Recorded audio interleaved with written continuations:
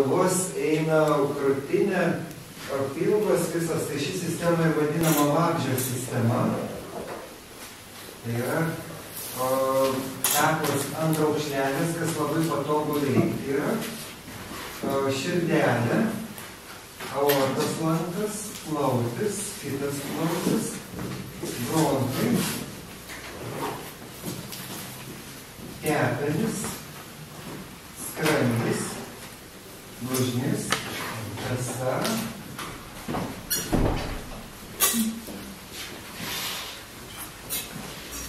žarnynas. Ir jeigu dabar paimsime ranką,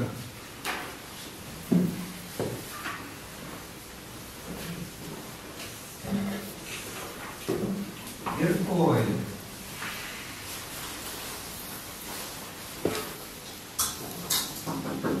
Pačiai vietoj, kas turi trečias knygelės, ten taip pat subraižyta ganėtinai yra šitie, šitie piešinukai. Tai pačiai piedai - nosis, akis, lūpos, ausis.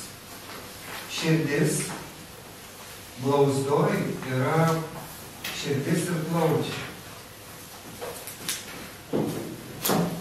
Delne, nosis, akis, lūpos, ausis, kaklas ant uh, raukšlelės, ant riešo, bronchai, plaučiai,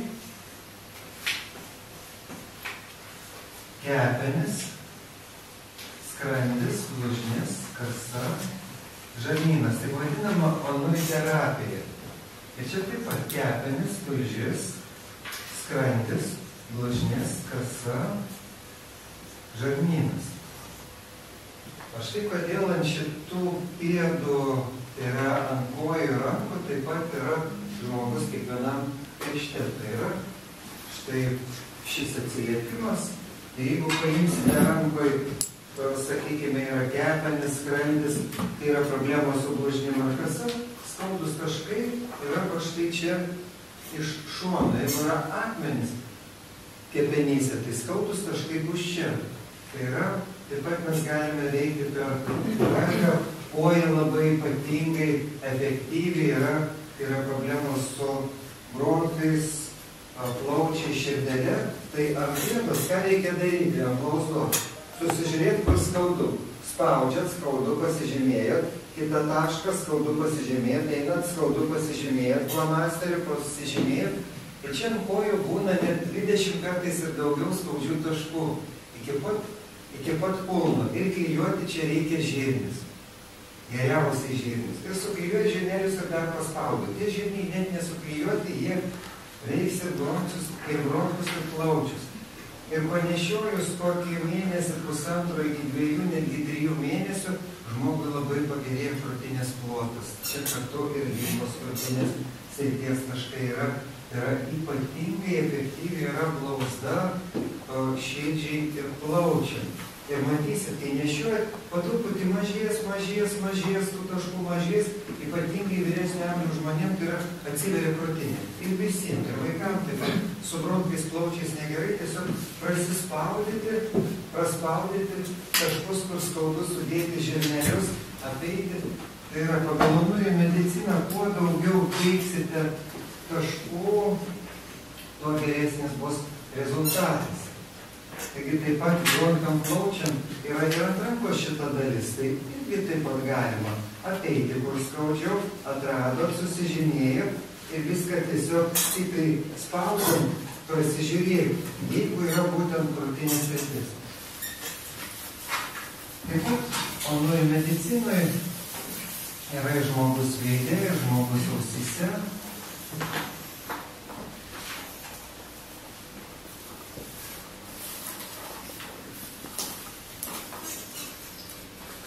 Pas mus bus nosis, akis, lūpos, ausis, tai yra žmogus žemyn galva, kaip kūdikis pas mamą pilve, stuburas, kaklo taškai, būtų štai čia. Mentis čia. Labai efektyviai yra kaklai, labai efektyviai mentim yra. Ir čia mes galime su kvadratėliu aš turėjau labai stiprią kaklo traumą.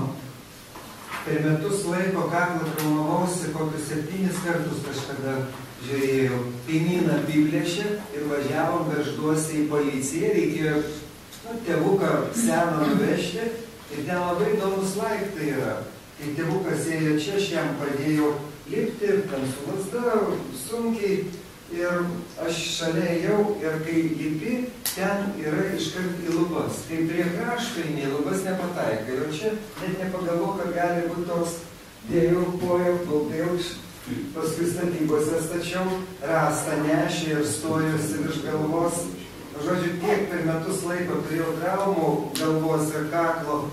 Nu, va, žmogus per visą gyvenimą tiek nesurinka. Bet va tie metai tokie, nu, va, kaip atrodo užkeikti kažkas tai ten specialiai daryti. Aišku, nei specialiai nedarė, bet va, taip sutapo. Ir aš kaklo nesukinėjau du metus visiškai. Tai yra slankstelis ant slanstelės suėjo ir sakė, nu čia tokia va, baisu ten kažką judinti, dar džiaugtis, kad nervo neužspaudė, kad dar valdai rankas kojas. Ir važiuodavau į Kauną į Vilnių ir 2-3 valandas, o taip spaudydavant ausies. Tai yra miestė nepaspaudysi, o važiuodamas autostradą brėlėtų.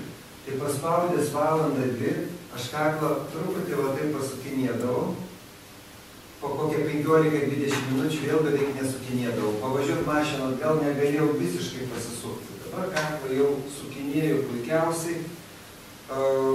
Nervas, vėliau pamenu, į jogą darydavo. Tai du metus dar, kai kaklą kažkiek pasuku, nervas muždavo. Tiesiog toks prankšt jausmas iš vidaus.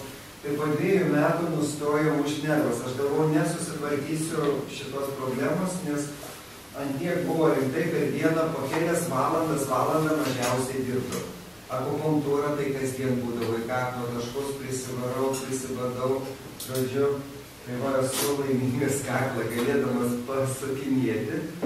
Va ir labai labai patogu. Ant ausies, kaklo taškai, fantastika. Jūs atrasite čia, kur yra skaudus taškai. Va ir dabar, tai ačiū reikėjo šitą dalį. Mentis būtų pirmas krūtinės lankstelis ir septintas krūtinės. Tai yra žemiau kaklo, taip pat efektyvus taškai.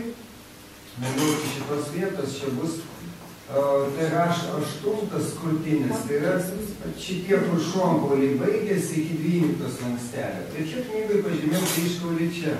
Ne visai teisingai, anksčiau aš taip ir galvojau, į knygą perrašyčiau, tai pakeičiau, kryškaulis bus, o čia kur sueina su galva, tai, ši, tai yra šitoj vietoj bus. Ir čia slanksteliai jie labai tokie bus ištempti. Tai yra visa viršutinė dalis, čia bus juosmeninė dalis. Ir taip pat galima užsidėti kvadratėlį ir su juo 3-5 minutės ar daugiau turite laiko tiesiog prasispaudyti visą juosmeninę dalį. Širdelė, ausies skilutę į tą pusę nutašiau.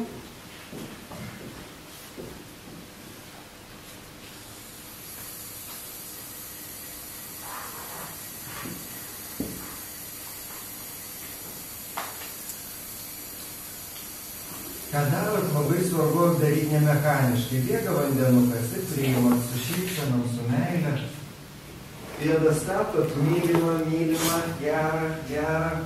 Tai va, kuo daugiau šitai įdėsim dvasios į savo veiksmus, tuo tas gyvenimas pilnesnis, nes gaunasi tik bėgi, tik bėgi, dirbi, o jeigu dirbi su palaima, tai tas darbas atrodo, greičiau padaryti darbus, greičiau valgyti, greičiau užduoti, greičiau tą, bet prarandi gyvenimą, nes tai užima didžiąją dalį gyvenimo.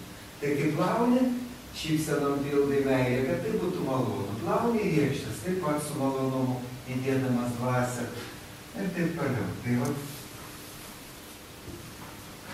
ausies skilutė, čia toliau bus širdis, plaučiai, ausiai. Širdį ir plaučius ausyje geriausiai veikia yra galima iš vidinės pusės, bet geriau netgi iš išorinės pusės. Su nepritu ypatingai yra gerai, nuvažiuokit į Zodijako labdarių gatvį, nusipirkite nefritų kausim ir su tuo nefritu labai gerai yra ausis veikti. Aš šį kartą nepasėmiau nefrito, bet šiaip visada deduosi kelionę, prasimasažuoti ir nefrituką gerai išsidėti iš išorinės pusės, o iš čia pirštų sėdėti. Jeigu yra klaustukas, su klaustuku savo galima kažkur tai turiu va štai įsidėti jums ir taip pat širdies plaučių taškus taip pat prasispaudžiu. Aukščiau čia bus skrandis, kepenys per visą. Aplamai čia turėtų būti žmogus iš šono, todėl išeitų ne du plaučiai, o išeitų širdis ir nuplautis va taip pat iš šono. Aš tiesiog nupiešiu, kad būtų aiškiau. Nešiausis iš šono, tai yra vidaus organai žiūrimi būtų iš šono ir, ir blužnis ir 12 pirštė, tulžis, kas čia dar kasa šitoje vietoje, taip pat inkstukas štai čia būtų. Tai yra, ausį galima padalinti į keturias dalis. Galva, akis, ausis ir visa galva labai efektyviai yra su kvadratėliu. Užsidėti ir visą auselę štai taip užsidėjus piškelius prasispaudyti. Regai, jeigu spaudysi, bus čia arčiau. Dantis truputį žemiau bus, ausis praktiškai per patį vidurį, smegenys viršutinė dalis. Taip pat labai gerai miega.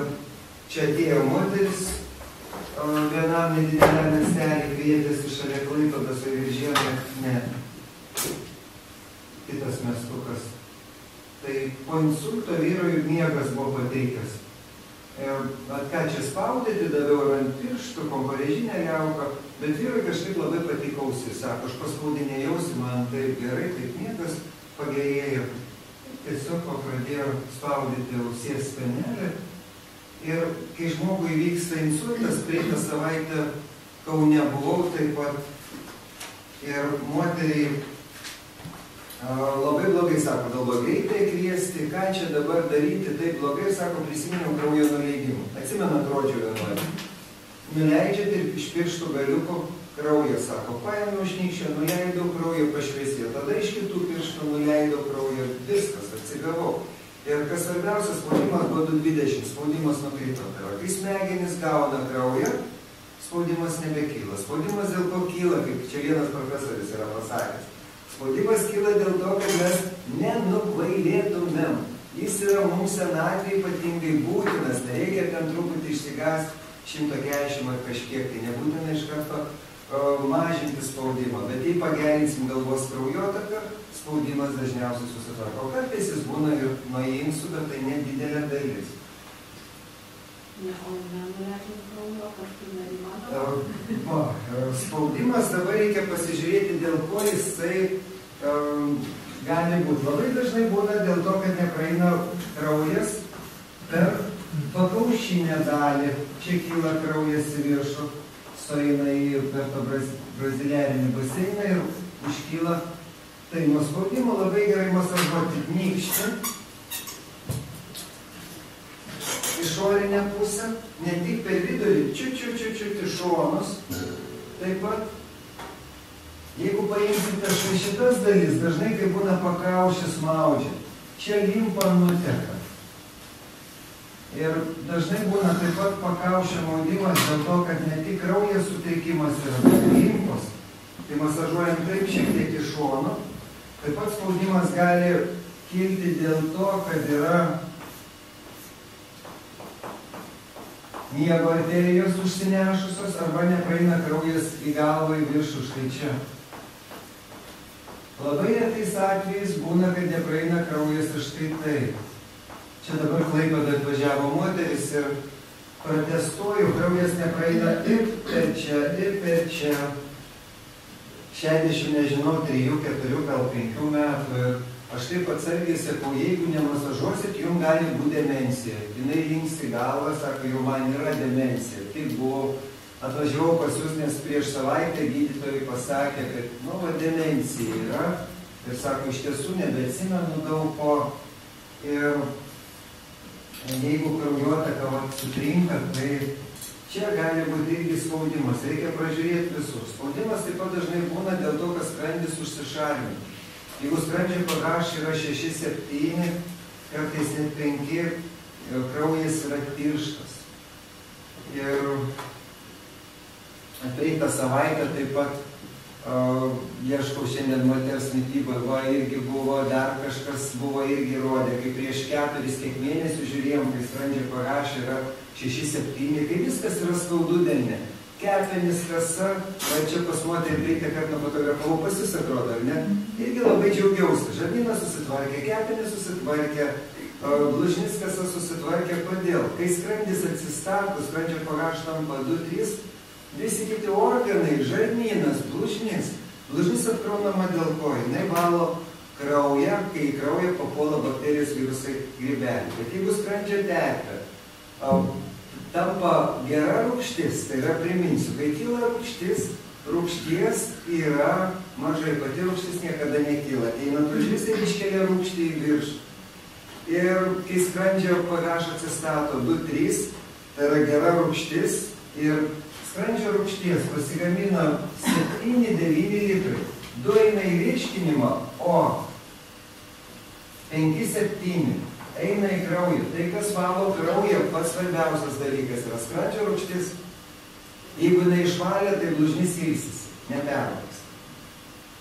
Ir jeigu jau skrandžio pH tampa nu, 5-7, galbūt 6-7 labiau, tai jau blužnis įsitempia, pervarksta, nes tada kraujo nebevalo skrandžio rūgštis, tada blužnis pradeda dirbti ir blužnies padidėjimas yra visada, arba kraujo vėžys, arba limfos problemos, yra dėl to, kad skrandis nusišalina. Tai yra labai svarbu skrandis. Ir kai yra infarktai, insultai pastebėsit, tai nuvažiuoju į ligoninę 6-7 pH. Tai yra saldumynai, jeigu valgot saldumynus, baltus miltus savo padėti, yra, kad išspaudysi, praktiškai rezultatai labai labai labai maži. O čia taip pat gali kilti kraujo spaudimas. O ir kaunė buvau, moteris sako, išėmiau saldumynus, miltinius, viskas pradėjo keistis, o kita numetė 8 kg. Irgi rodo delną, cukrus jau beveik susitvarkys, būdavo labai aukštas. Kaip pasikeitė ir žarnynas ir kepenis, viskas tampa per 4-6 mėnesius, žmogus gali labai labai labai labai susitvarkyti, tik angliavandenių, kaip ir ketogeniniai vietoj, reikia labai labai sumažinti. Ir dar kartą pasikartosiu, kad ateina irgi, uh, kartais neminėsiu miestų, tai atėjo moteris vegetarė. 15 metų. Pati blogiausia sveikata iš visos grupės, nes nušalinta yra.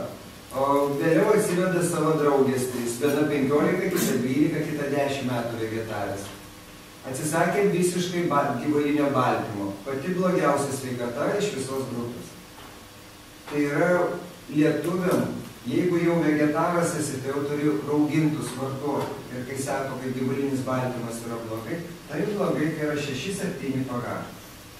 Ir kam yra 6-7 pH, kai pradeda valgyti ketogeninę dietą, kas atsitinka? Valgymas nesuvirškinamas, tai jis dalis apkrauna inkstus. Tai yra prie ketogeninės dietos taip pat reikia na, atstatyti, atspaudyti ir visais kitais būdais, nes ne visiems tinka, netgi acto gerimas ir net augintų valgymas ne visada tinka, kai yra 6-7 po truputį įvesti, ne per daug, nes jeigu per daug įvesti, labai kils rūgštis. Rūgštis kyla dėl ko? Kai skrandžio voštuvas ir dvylikapirštės atidaras maistas neužsilieka skrandį, per greitis papuola į dvylikapirštį. Išsiskiria daug kasos tulžies fermentų ir kadangi jų daug išsiskiria, grįžta į skrandį ir tą rūgštį iškelia. Todėl pradžiai, kai aš buvau labai nušalvinęs prieš dešimt metų uh, skrandį, tiesiog stengiausi šalinti 20 metų. Kai pradėjau valgyti raugintus, atstagė, man rūgštis dar labiau kyla. Valgau raugintus, man rūgštis dar daugiau kyla. Todėl, kad 6-7 pagaš. Šitą voštuvą atsigulus kiekvieną rytą, vakarą reikia atspaudinti, kad jis pradėtų užsidarinėti dirbti. Ir per mėnesį laiko jis labai labai pradeda tvarkytis ir tada vis po truputį vis daugiau gali valgyti rauginti. Tai yra, kai kyla spaudimas, rauginti ką daro, skystina kraują. Prie spaudimo būna rekomenduoja ten brindžiuko konjako. Brindis konjakas išplečia kraujagyslės, bet vėliau dar labiau susiaurėja. O vynas, jis tik skystina, jis netirština. Vynas tik skystina, sausas, sausas vynas. Raudonas? Žinot, norėčiau labai pasakyti, kad raudonas labiau negu baltas, bet esmė yra tame, kad kiek pirkom raudonų vyno, iš raudono vyno iš dešimt butelių kokie du yra nedažyti vinai. O anykščio romija. Anykščio ruonė pusiau sausas geras, jis nedažytas yra. Jeigu paimsite stiklinį indą, įpilsite vandens ir įdėsite stikliuką su vynu, ten 25, 30 ar 50 gramų, ką pastebėsite? ir paskandinat. Ir jeigu spalva tampa vienoda tiek uh, stikliukė, tiek aplinkui, tai vynas yra dažytas. O jeigu vynas geras, tai viršus, tai visas jisai taip liks tamsus, tai pats viršus ir 5 mm bus šviesesnis, su vandeniu susimaišys. Tai va, iš vinų raudonų labai daug yra dažytų. O tai atrasti nedažytus yra, kokie būna gruziniški, gana neblogi, bet paskutiniu metu taip pat pradėjau pastebėti, kad jie pradėjo taip pat, nu, sukčiavoti. Kad, vat, matyt, daugiau gauna, prideda dažų, o tie dažai visiškai nereikalingi. Ir tame būtelį jūs nerasite, kad užrašyta yra dažai. Naminis išlaikytas. Naminis va, bet geriau, kad sausas būtų. Nesaudus, sausas. Tai prieš maistą vyno čia prieš penkis metus kokius lankė veganas, skrandis keuras, prakiūrės. Dėl ko skrandis prakiūra? Ne dėl rūkšties. Dėl to, kad jis užsišalina, žarnyno bakterijos grybeliai ateina gyventi skrandį ir čia susidaro erozijos. Jis eina į skrandžio senelės ir plus dar žmogus, jeigu neaktyvina skrandžio rūkšties, raugintais arba gyvulinių baltymų, skrandis pradeda tarsi nykti senelės ateinant tulžiai ir šarma, ir jis pradėjo vyną, sakau, vyną geri. Po 3-5 šaukštus naminį iš šilto vandens pusės stiklinės ar stiklinė įsidedi, gali šaukštą acto, po truputį, po truputį skrandžio rūkštis atsistatė, pradėjo patikėti manim, nes pradžioj, nu nesąmonė, tai kilo rūkštys, reikia šalinti, bet sakau, kiek tu metų šalinės? 15 metų tu tik šalinės ir nori dar daugiau. Ir čia didžiulė klaida yra, kai paima pagaš lentelę, būna ten vienas, du, trys, keturi, penki, šeši, septyni, aštuoni, ten devyni ir dešimt. Tai žiūri, jau septyni yra neutralus, kad produktai būtų kuo daugiau žarminė pusė. Tai didžiulė klaida. Tas, kas ateina su skrandyje žaizdomis, jie dar daugiau savo pakenkia, kai vartoja ir kai stengiasi, kad daugiau į panaš pusę būtų, ša atvirkščiai, atvirkščiai, skrandžiai reikia, va, į šitą pusę kuo arčiau būtų. Tai yra paraugina produktus. Ir jis po truputį pradėjo rauginti, rauginti, po kurio laiko žaizdos užsitraukė, sako, nu va, koks mano buvo suvokimas, kad kuo daugiau išaiminė, kad šitie produktai yra blogi. Tai yra nesuvokimas fiziologinis. Tai yra rūkštis kyla ne dėl to, kad jos yra per daug. Ir čia didžiulė klaida. Dauguma gydytojų apie tai gastro šneka, dauguma. Apie tai bus spaudoje taip pat, kad kai kyla rūkštis, po daugiau šarminių produktų, kad skrandžio rūkštis yra blogybė, blogybė pati didžiausia, kuri organizmą užrūkština. Ne jinai. Priminkit, prašau, šarmingumą, tai per juostelę iš seilių kaip pirštų? Ne, yra ne tik iš seilių, yra, o, būna pačius produktus, patys produktai būna sužymėti. Citrina yra 2-3 pagaš, bet kai kartais yra 4, tai sakys, jau blogai, jau labai rūkštinė, reikia žiūrėti, kas ten laimės daugiau šarminė pusė bus. Tai, nu, vat, ir čia yra nesusivokimas burakėliai, ten daugiau rūkštinė pusė, reikia sakys, ką valgyti, jie jau rūkština, jau blogai, ne. Tai pridėti tai O, kaip ir galima internete rasti pagaš produktų jau surašyta, ko, ko, kokie yra koks šarmas ar yra. Ir vėl klaida, kaip lyginti pagal pagaš lentelę irgi neteisingai, kas šarmina, kas rūgština. Kodėl? Reikia žiūrėti į virškinimo organus, kur virškinasi. Ar skrandyje, jeigu skrandyje tai skatina rūgštinius fermentus, tai dar nereiškia, kad rūgština, Jeigu skrandžio pagaš yra šarminis 6-7, mėsa, kiaušiniai, žuvis, pieno produktai yra nesuvirškinami, jie pradeda būti, jie pradeda duoti ša, jie šarmėja, suprant? Tai gali pasakyti, tai čia labai gerai, kad šarmėja. Ne, negerai. Jeigu mėsa, žuvis, gera rūgštis, vienas, du ir trys yra pagaš, tai jinai suvirškinama yra ir nedos puvimo procesų. Tai viskas, kas ką virškinasi skrandyje, skatina rūgštį. Kas virškinasi dvylikapirštį, skatina šarmus. Visas vegetarinis maistas, didžioji dalis, virškinasi dvylikapirštį. Ir jeigu žmonės valgo tik šarminius produktus, pas juos skrandžio rūgštis pradeda mažėti, silpnėti skrandis, palaipsniui ateina bakterijos grybeliai į žarnyną, apsigyvena skrandį, va čia žaizdos, iš čia erozijos ir iš čia kyla rūgštis taip pat. Ir pas mesėdžius taip pat gali būti, jeigu valgo daug miltinio ir daug saldumynų. Tai irgi skrandis nusišalina, nes bakterijos grybeliai čia apsigyvena ir jie gauna prie vandenių saldumynų taip pat. Ir priminsiu, kai skrandžio pagaš tampa šarminis, pradeda tirštėti kraujas ir dėl to taip pat gali o, kilti spaudimus. Bet jeigu žmogui visai blogai, bet labai jau tam šarminis, sakykime, bakterijos skrandžio ir negali nieko valgyti, tai nuo ko pradėti? Nes, nu, sakom, man blogai vis Žiūrėkit, visų pirma, voštuvas. Kai yra prie septynių pagaš, priminsiu, tas voštuvas, sakykime taip, septyni atidarytas, šeši mažiau, penki mažiau, keturi mažiau, trys, du jau užsidaro voštuvas, vienas užsidaro voštuvas. Tai kai septyni pagaš yra, voštuvas šitas atidarytas yra.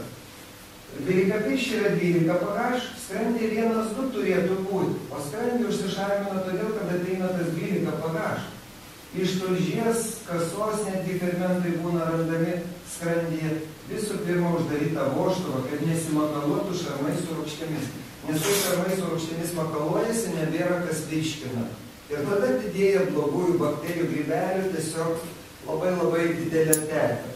Blogasis bakterijas grybelius uh, Kas mažina? Mažina skrandžio rūgštis, apie tai Geršonas rašė, apie tai rašė ir Kulneregė Karklap, ir Bolotovas, tai yra a, nemėgsta blogosios bakterijos grybeliai skrandžio rūgšties, o vat, a, gerosios bakterijos tas taip nebijo. Kaip uždaryta voštuvą? Voštuvo uždarimas yra keliais būdais. Kuinė reikia, kad klak randa čia cheminės medžiagas ir metalus. Tai yra nustoti metalinį šaukštą šakutėm valgyti. Tai labai svarbu. Pas mane skrandžio voštuvas buvo atsidaręs. Aš žinot, kaip įdomi, kai aš nustojau valgyti, aš pastovi badydavausi skrandį, badžiaus nežinau kokius penkis metus. Pasibadau, tu tris mėnesius atsistato. Po dviejų, trijų mėnesių vėl skrandžio pagaš jau vėl šarminis. Galvoju, kas čia yra dabar? Atrodo, valgau rūgintus, viskas gerai ir vėl nusišalina. Vėl pasibadau, atsistatau, po dviejų, trijų mėnesių vėl blogai. Ir nesuprantu, kaip yra. Ir paskui Kulnios reikia kartla knygą, kai varčiau ir ten rašo metalai, kurie ateina į skrandį, jie kaupėsi ant šito vošto, pas Bolotovo knygos ir taip pat. Ir išėmiau metalinius puodus, arba tinukę, kuriam virdavau elektriniam arbatą, pradėjau virti emaliuotam, balta malė yra geriausia, nes rudoji malė išpėsi truputį yra ten cheminių medžiagų nereikalingų. Tai balta malė padengti podai geriausia. Ir arba akmens masės podai, kurie yra. Tai tiesiog pradėjau be šakutės valgyti, tai yra medinė šakutė, šaukštai. Ir labai įdomi šią vasarą taip pat buvo stovyklos ir aš vėl grįžau prie metalinio, žodžiu, medinį šaukštą išsiminti, važiuoju kelionę, įsidedu medinį šaukštą, kažkur palieku ir vasarą pravalgiau metalinį šaukštą, šakutėm ruduo ateina, jau žiūriu, pradėjau atsiraugti, žiūriu savo skrandžio bagažą, jau pradėjo linkę turiu, galvoju, o geras, tai yra tiek metalai, jie gali pakenkti, tu gali labai teisingai valgyti, bet jeigu turi metalų, vėl yra negerai. Tai kulvė čia rasdavo ir visokius nuoglių, tos nuo šašlykų gali būti. Cheminės medžiagos, nepirkit skarbankį, jeigu alų geria, tik neskarbankį, nes metalai eis. Jeigu vėl dažniausiai matysit, folgoje niekad nekepkit maisto produktų. Tai yra aliuminė folija, tai yra nuodų nuodas iškeptas produktas, viskas mes lauką. Nekep nieko. O kitas būdas yra atsispaudyti, dar kitas būdas yra išspaudas, pavartot bolą tavo knygose. Galite rasti ten ir klubas keliasi save, tas skrandė esu aprašęs, kaip ten susitvarkyti voštą, o po maisto pačiu druską, du, tris kartus. Drusko šiltimas taip pat padeda uždaryti voštą, nes skrandžio rūgštis druskos rūgštis. Nėra druskos, skrandis dirba blogai. Labai daug kas atvažiuoja skrandžių susigadinę dėl to, kad išėma druską valgyti. Ir sako, užtenka maisto produktuose, neužtenka.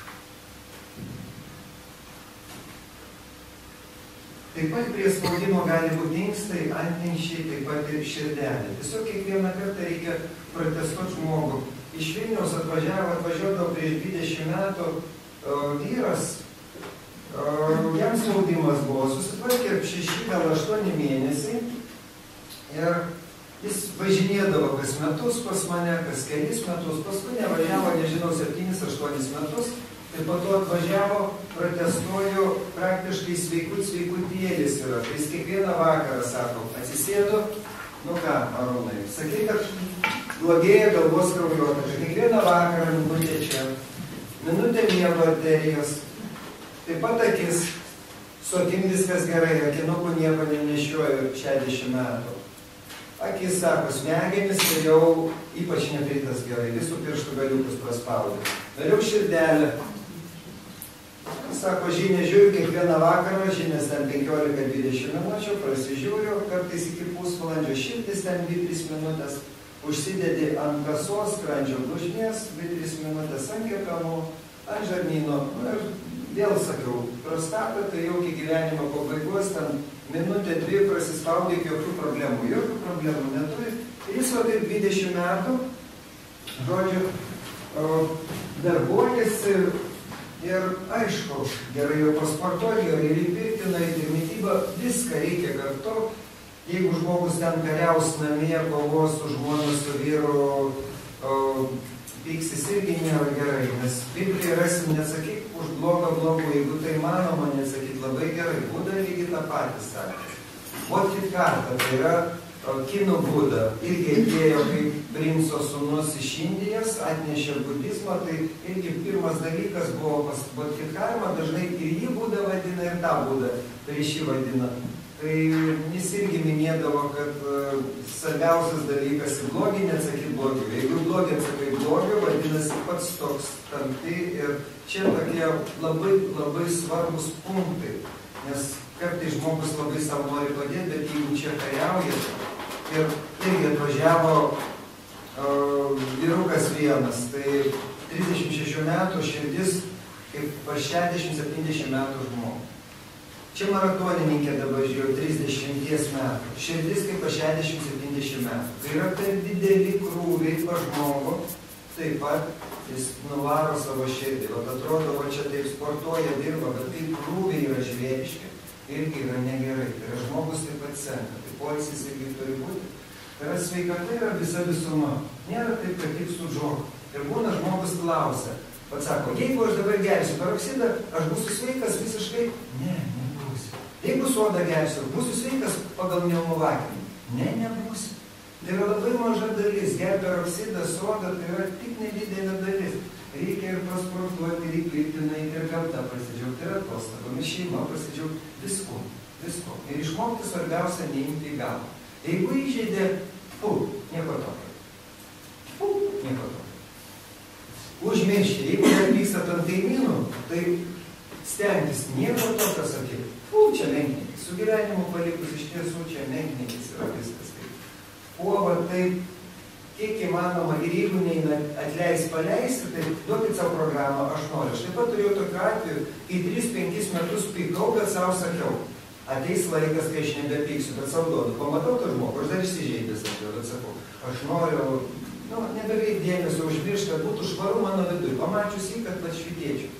Ir vėliau po metų dviejų, trijų susitinku, vis geriau, vis geriau, paskui žiūrėjau, o jau vis iššypsoju, o jau prie jo ranką paspaudžiau, ar bet nepaspaudžiau, jau per tvorą kaimynų ar kažkas, tai va taip, va, bent iš vidaus kažkas gero atėjo, tai paleisti tos dalykus, nesukti, nes žmogus pastoviai suka. O tą skausmą suka, suka, suka, suka, suka, suka, augina, augina, augina ir nepaleidžia. Tai yra. O čia irgi viena moteris ateidavo į kursus prieš porą metų, tai tėvukas,